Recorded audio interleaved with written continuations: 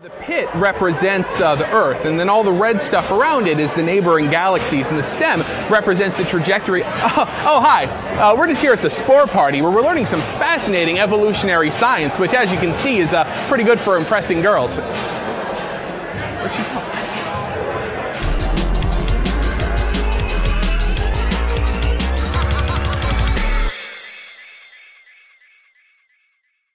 Spore is this uh, really interesting perspective on all of life. In fact, you're trying to advance life at every stage. You start kind of microbial in the cell stage. Eventually, uh, you get large, move on land in the evolution creature stage. Uh, then once you develop intelligence, you go into the tribal stage, and you start developing kind of the personality of your tribe. And then eventually it brings you into the civ stage, where technology starts getting higher. They start building cities, vehicles, ships, airplanes. And then the last phase is space, where for the first time you leave your home planet and then you can actually go out through this huge galaxy where every world is unique and it's populated with stuff that other players have created while they were playing the game. We knew that our, our players, given the right tools, would put out tremendous amounts of creativity. And we'd seen that with The Sims before, using kind of much lower power tools. And so one of the first things we did on Spore was spend a lot of time working on these tool sets so that in 20 clicks, a player could basically replicate what a Pixar artist might spend weeks making. Now, once we had those, uh, we also made sure the content was very compressible. So when a player makes something, it compresses down to about 20K, even though when it's in memory on your computer, it's about 3 meg running around the world. So that means we could send this stuff up to the net, to a database, very easily, very low friction, and then populate everybody else's world with this creative output. So we basically were outsourcing most of the creativity of filling out these millions of unique worlds to the players. You just never know what's going to pop in your world. And you know, sometimes it's Care Bears and Klingons, and other times it's real Earth animals we uh, had people draw pictures of creatures before we ever made the editor, just to look at the drawings that they made. What sort of things did they put on these creatures? How did they think about them? This is the cr- creature I made, mm-hmm. which is in fact a creature which reflects my own conclusions about what might be very common variations on humans on other planets. I call it super sapiens because what it is is a Homo sapiens. We are our species is Homo sapiens, but one that's actually improved. There are a lot of things about us which aren't perfect. We only have two arms. Be better to have four. An eye in the back of the head would be helpful, and we just wonder why evolution did not produce that. We found that most people, uh, right off the bat, wanted something bilaterally symmetrical.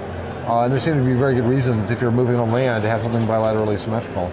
Uh, on the parts, you know, we wanted to have a lot of diversity for the type of life cycles these creatures might uh, live. Some of them might be small and stealthy, other ones large and powerful, other ones very social.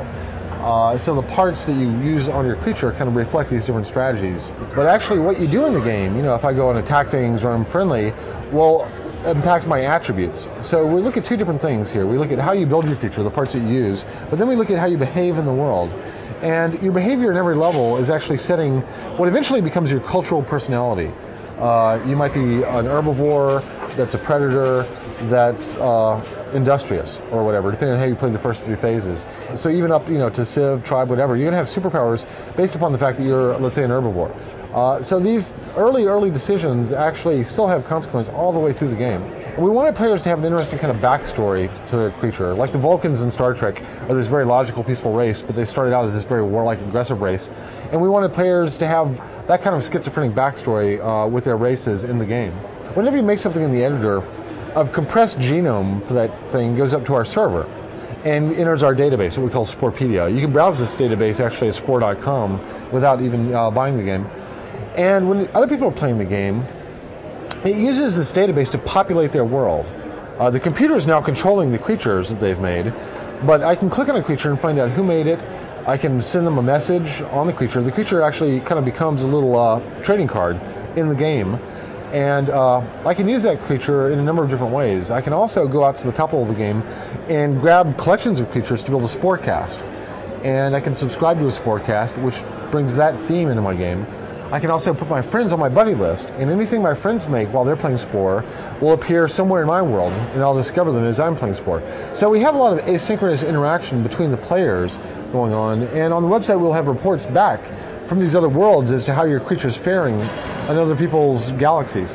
Uh, but no two planets are the same. Everyone is unique, and they are populated with unique stuff. The only way we can do this is by having millions of players basically you know, creatively building this world collectively as they play. I think what we're trying to do here at a high level is we're trying to find a way to harvest the collective creativity of millions of people and then distill it down and concentrate it.